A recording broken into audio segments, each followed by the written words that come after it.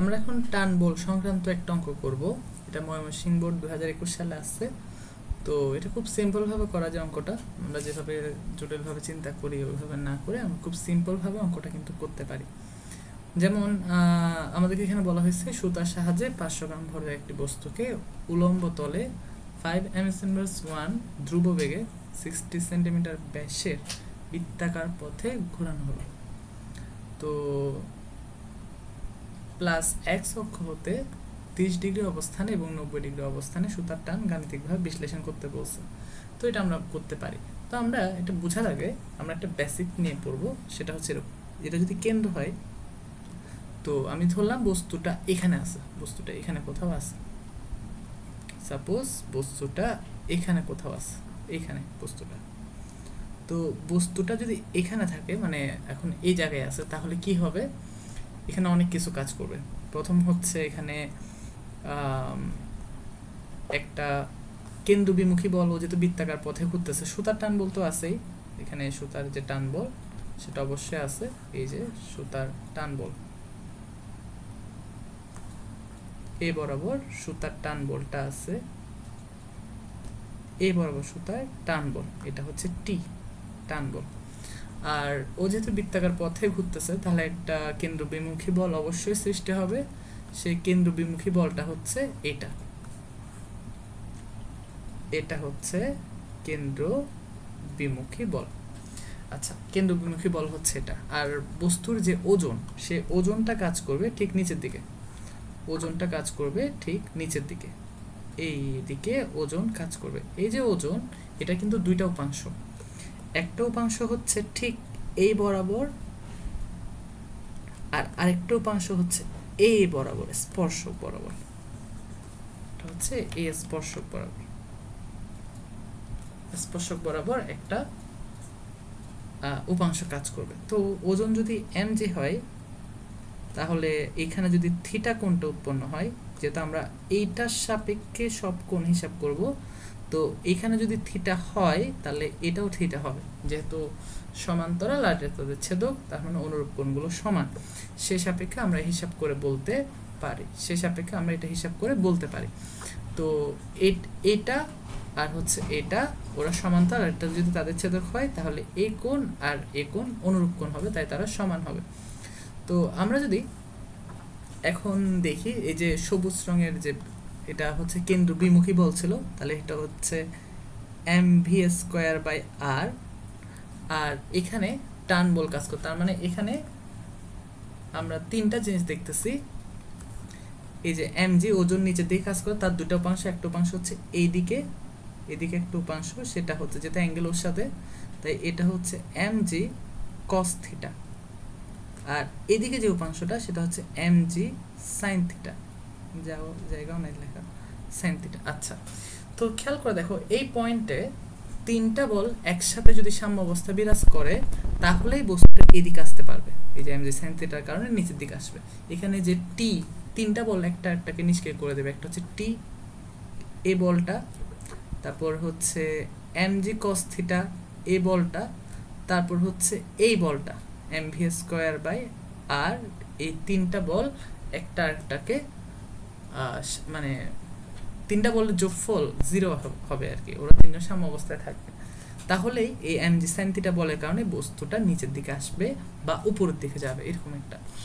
তো মানে আমরা যেদিকে ঘুরাবো সেদিকে যাবে আর কি। সেটা এদিকেও হতে পারে ওইদিকে হতে পারে, এটা কোনো সমস্যা না। তো আমরা যদি এভাবে হিসাব করি, তাহলে তিনটা বল একসাথে সাম্য অবস্থায় আছে। সে তিনটা বলকে আমি লিখতেছি, একটা একটা করে। একটা হচ্ছে, আমি যদি বলি T plus M V square এটা আমি একটু অন্যভাবে লিখি। এখানে তিনটা বল একসাথে সাম্য অবস্থায় আছে। একটা হচ্ছে F one plus F two plus F three equal to zero যেহেতু সাম্যাবস্থা লব্ধি শূন্য হবে। আচ্ছা এটা আমি একটু ডিফারেন্টভাবে করাচ্ছি এটা। তো আমি যদি টি এর দিকটাকে এদিকে ধরি, ভালো করে দেখো, আমি যদি এই টি এর দিকটাকে এদিকে ধরি মানে এদিকে যদি টি এর দিকটাকে ধরি, তাহলে টি প্লাস তাহলে এম জি কস থিটা আর এম ভি স্কোয়ারটা মাইনাস হবে এদিকে। তো আমি লিখব যে টি মাইনাস যেহেতু M V M G cos theta আর হচ্ছে এম ভি স্কোয়ার দিকটা টান বলে বিপরীত দিকে, তার মানে ওদের জন্য মাইনাস হবে। তাহলে মাইনাস যদি হয়, এটা হবে minus M G cos theta minus M V square by R equal to হচ্ছে জিরো তো আমরা এখন যেটা পাচ্ছি সেটা হচ্ছে, এই মাইনাসগুলো সমান চিহ্ন পাশে চলে যাবে, তাহলে টি ইকুয়াল টু হবে M G cos theta plus M V square by R তাহলে এখান থেকে আমরা একটা সূত্র বের করতে পারছি। সেই সূত্রটা হচ্ছে এরকম যে টি ইকুয়াল টু মানে টান বল ইকুয়াল টু হচ্ছে M V square by R plus M G cos theta এই অঙ্কটা দিয়ে আমরা অবশ্যই অনেক ইজিলি অঙ্ক করতে পারব।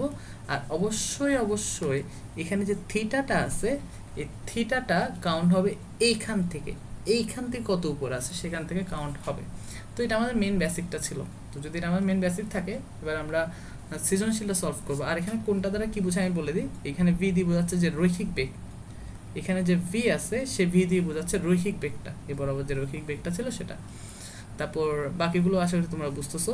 আর মানে হচ্ছে ব্যাসার্ধ। তখন আমরা অঙ্কটা সলভ করি। যেমন এই অঙ্কটা আমরা সলভ করি এখন।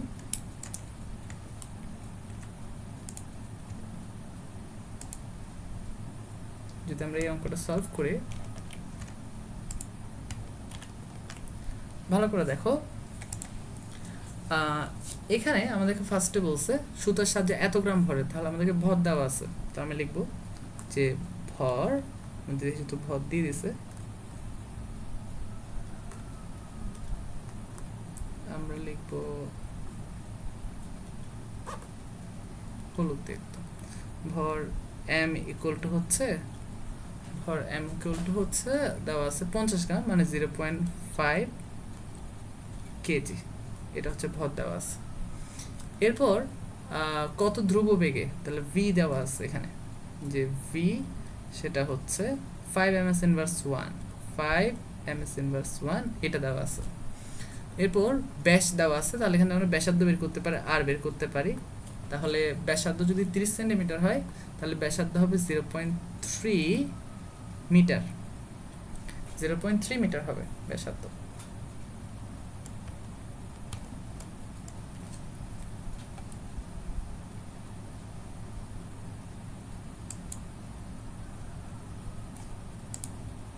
তো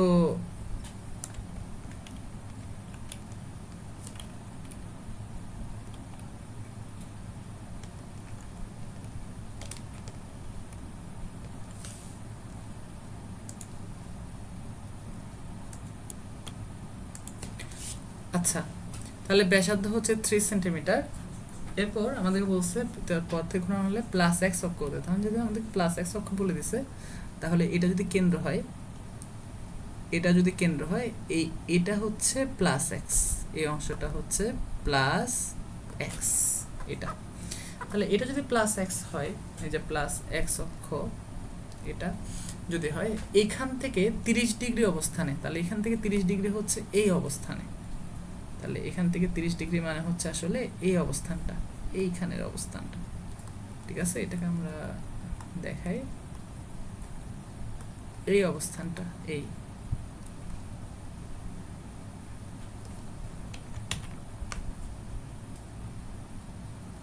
এটা, তাহলে এটা হচ্ছে তিরিশ degree.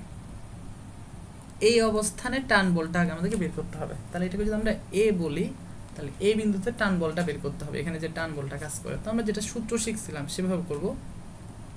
T A equal to হচ্ছে M V square by R plus M G cos theta এই থিটাটা কি? এই থিটাটা হচ্ছে অবশ্যই অবশ্যই এইখান থেকে অ্যাঙ্গেলটা হিসাব করতে হবে। অবশ্যই অবশ্যই এইখান থেকে কোনটা হিসাব করতে হবে। তাহলে এটা তিরিশ ডিগ্রি, এটা নব্বই ডিগ্রি, তাহলে ওভারঅল যে কোনটা সেটা হচ্ছে একশো বিশ ডিগ্রি। তাহলে এখানে এই মানটা বসাইতে হবে। তাহলে আমরা যদি মানগুলো একটা একটা বসাই, তাহলে যেটা আসতেছে সমান এম এর মান বসাবো আমরা জিরো পয়েন্ট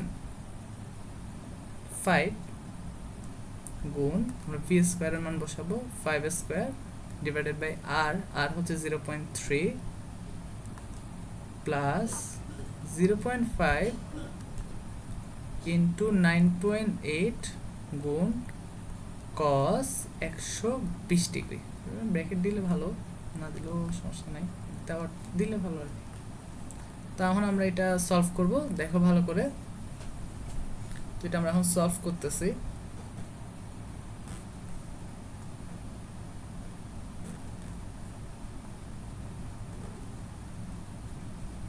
মানগুলো যদি আমরা বসে একটা একটা করে, তাহলে যেটা আসবে সেটা হচ্ছে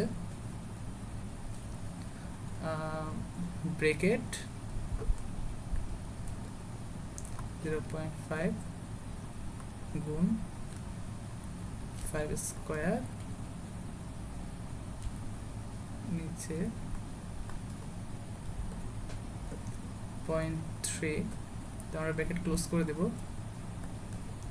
প্লাস আবার ব্র্যাকেট দেব পয়েন্ট ফাইভ গুণ নাইন পয়েন্ট এইট গুণ কস একশো বিশ তাহলে আমাদের আনসার কি আসে আমরা একটু দেখি। আমাদের আনসার আসছে উনচল্লিশ দশমিক দুই এক ছয়।